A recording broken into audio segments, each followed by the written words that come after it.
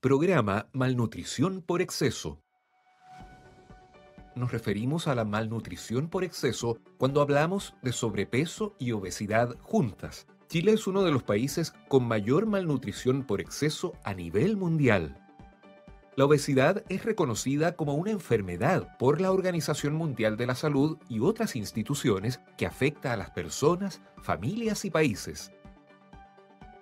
El mapa nutricional con el que Junaev evalúa todos los años el estado nutricional de las y los estudiantes, muestra un aumento significativo y alarmante en cuanto a estudiantes que presentan exceso de peso.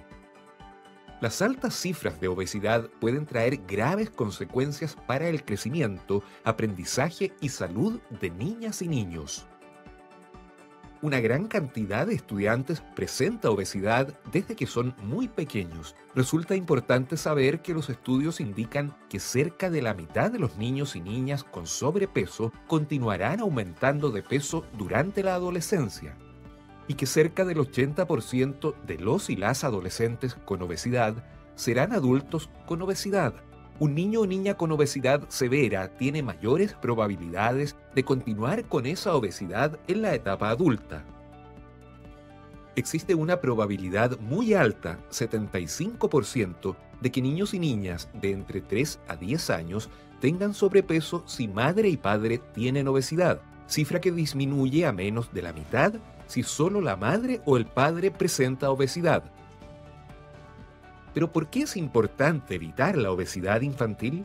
El sobrepeso y la obesidad en un párvulo o escolar pueden provocar la aparición temprana de factores de riesgo cardiovasculares, como colesterol alto o hipertensión, prediabetes, resistencia a la insulina, dificultades respiratorias, mayor riesgo de fracturas, crecimiento más lento, problemas en sus relaciones sociales y efectos psicológicos como la estigmatización y baja autoestima. Problemas que pueden aumentar en la preadolescencia y adolescencia si no se tratan a tiempo, complicando incluso el desempeño escolar. El sobrepeso y la obesidad dependen de muchos factores, entre ellos contextuales, como condiciones geográficas, culturales, económicas, de vivienda, entre otros, familiares, individuales, genética, alimentación, movimiento, sueño, factores psicológicos de salud y otros. Pero en el centro de las causas modificables por las familias y las personas están cómo nos alimentamos, nos movemos, dormimos y propiciamos ambientes tranquilos. Un aspecto muy importante es el equilibrio entre el tipo y cantidad o porciones de alimentos que se consumen de acuerdo con la edad versus la actividad física que se realiza. Para avanzar en la solución de este problema es importante ocuparse lo más temprano posible promoviendo hábitos de vida saludable en la casa, la escuela, la comunidad y otros espacios. El piloto de malnutrición por exceso se inserta en otras acciones que realiza CUNAEV para potenciar un buen estado nutricional de las y los estudiantes, entre ellas el mapa nutricional y el programa de alimentación escolar PAE, que incorpora entre muchos elementos la interculturalidad. El programa piloto Malnutrición por exceso de CUNAEV busca bajar los índices de sobrepeso y obesidad en estudiantes de pre-kinder, kinder y primero básico de establecimientos públicos adscritos al programa. En la actualidad, este programa de prevención se está implementando en cuatro regiones del país, Coquimbo, Biobío, Araucanía y Aysén, comenzó en 341 establecimientos educacionales de 21 comunas de estas cuatro regiones que fueron seleccionadas por la alta cantidad de escolares con sobrepeso y obesidad de acuerdo con el mapa nutricional de Junaev. El programa tiene un modelo de intervención con diversas etapas que se despliegan en la siguiente secuencia. Tamizaje, exámenes de laboratorio, atención médica, controles nutricionales, acciones educativas grupales con madres, padres y apoderados. En cada una de estas etapas, las encargadas y encargados de cada establecimiento cumplen un rol fundamental acompañando, motivando la participación, el compromiso y la adherencia de las familias y estudiantes. Veamos a continuación estas etapas. En esta etapa, la o el nutricionista realiza un examen con mediciones como peso, talla y circunferencia de cintura para conocer el estado nutricional de cada estudiante. Quienes presenten sobrepeso u obesidad se derivarán al control médico. Primeros exámenes de laboratorio.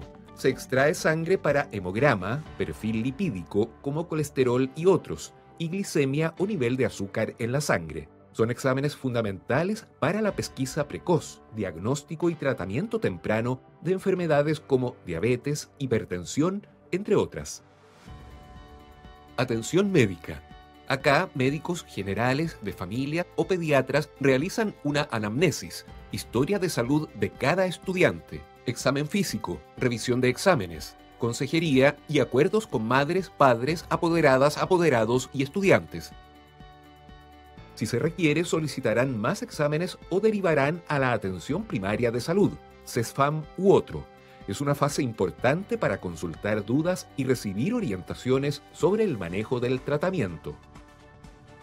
Primer y segundo control con nutricionista. Se realiza una anamnesis o historia de salud del o la estudiante. Se controla peso, talla y circunferencia de cintura. Se entrega educación y recomendaciones a la familia y estudiante y se establecen nuevos acuerdos. Las y los nutricionistas realizan una acción educativa grupal con mamás, papás, apoderadas y apoderados para reforzar contenidos, observar los avances, resolver dudas, compartir las experiencias favorables y motivar la permanencia. Segundo control con exámenes de laboratorio. Se toma hemograma, perfil lipídico como colesterol y otros, y glicemia o nivel de azúcar en la sangre que son revisados por el médico permiten ver el avance del proceso, monitorear cómo vamos, qué debemos mantener y qué debemos modificar. Es importante continuar hasta el final para ver resultados. Tercer control con nutricionista para medir peso, talla y circunferencia de cintura. Reforzar contenidos educativos a estudiante y familia. Se monitorean los avances, reforzando los logros y estableciendo las modificaciones necesarias es una fase crucial, pues él o la profesional derivará a la familia al sistema de salud correspondiente si él o la estudiante requiere continuar en control. Así la familia estará siempre acompañada en su proceso. Ahora que conocimos el programa, queremos mencionar algunos de los consejos que se recomiendan. Come de todos los alimentos en forma equilibrada. Toma agua varias veces al día. Tu cuerpo se sentirá mejor. Dormir hace bien no le quites tiempo de descanso a tu cuerpo. Movernos nos hace sentir más activos y saludables. A jugar.